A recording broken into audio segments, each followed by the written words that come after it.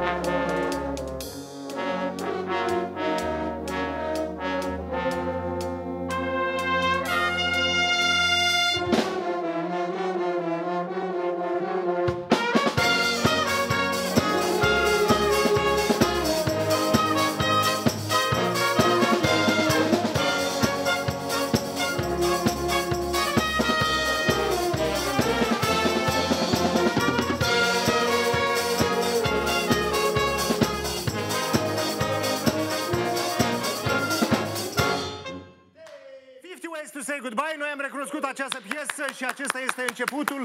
Salut, domnul dirijor. Bună dimineața. Ion Veste și fanfara de la Zaim, Valentin Lucianov. Da, e foarte ușor să ții minte, mai ales că scrie acolo pe... pe uh, ce e ăla? Trombon? Suzafon. Suzafon. Da. Ați văzut? Sunt niște termeni speciali. Bine ați venit la prima oră. Bine v-am găsit. Uh, cum miroase astăzi prin Zaim? A pârjoale, a mâncare, se coace. E hram totuși? Da, părjoale, a mâncare, a muzică de calitate. Uh, Eu am zis că este pur și simplu un spectacol doar să vă vedem.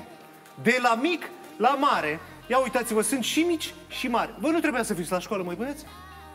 Nu, nu, nu. Ei nu mai doresc la școală. Uh, haideți în două cuvinte, pentru că noi am mai văzut despre dumneavoastră. Am văzut că aveți și majorete, dar acum ele sunt în turneu. Da. Da? Aveți și majorete la această orchestră. Avem și majorete și frumos. dansatori. Dar nu veniți cu un concert la Chișinău să vă vedem cu tot, cu tot? Cu cea mai mare plăcere. Sau dați ne concerte la invitați. Zaim? Noi, practic, dăm concerte toată țara și peste hotare. Le Neapărat o să urmărim, să vă vedem amploa. Uh, Toată orche... Sunt, sunteți toți sau sunteți și mai mulți? Suntem mai mulți. Sunteți mai mulți. Da. Deci ce să vă spun, e un spectacol adevărat, trebuie neapărat să vedem. Uh, în două cuvinte, tot vrem să aflăm neapărat uh, unde, dacă urmează să se întâmple următorul concert și uh, care sunt provocările pentru dumneavoastră ca dirijor, ca conducător, să țineți aproape acest colectiv. Concertul va fi primul astăzi, după uh, emisiunea dumneavoastră vom pleca în raionul Căușeni, unde mai avem de evaluat în, în alt sat, Mhm. după asta la Zaim. Vă invităm pe toți la o să Zaim, la reușiți și acolo Ham. și acolo? Cred că da, La Zaim la ce oră? Că e mai simplu să să reținem. la ora 5 seara. La ora 5. Până atunci salutăm Căușeniu, salutăm toată țara unde sunt hramuri astăzi și, și concerte și evenimente.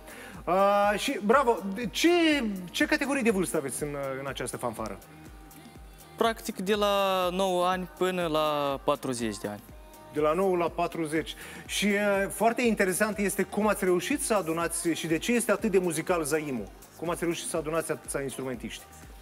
Știți, muzica bună toată data adună muzicanții buni și care vor să activeze într-un colectiv unde se muncește, unde e, vrea cu tot din adinsul să tindă spre scene mari, spre altă lume. Bravo! Când ați intrat am crezut că sunteți o echipă de, de polițiști, dar pe urmă m-am uitat mai atent la uniformă. Uh, nu e despre poliție. Dar sunt și polițiști în fanfară? Uniforma, nu, nu sunt polițiști. Uh, Uniforma este cusută, dacă știți, noi avem uh, în sat uh, muzeul Alexei Matievici. Sigur că da. Și uniforma a fost luată cum când a fost el uh, preot militar pe Da? front, el purta aș- așa formă. A, după acel model? Da, da, da. A, deci nu este o uniformă simplă, e după modelul de pe vremea lui Alexei Matievici. Da, da.